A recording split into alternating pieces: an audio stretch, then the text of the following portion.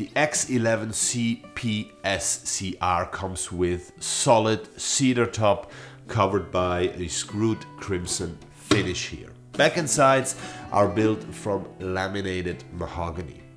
So in terms of shape and look, this beauty here looks quite similar to the one before, but by spending 80 euro more, you really get quite an improve in terms of sound. The solid cedar top really offers a different characteristic on the sound properties. So the decision is not only taken by the fact of pricing, but it is also depending on the sound you want to get. Cedar produces a slightly darker and heavier sound than does. So the X11C PSCR is available at a suggested retail price of 299 euro.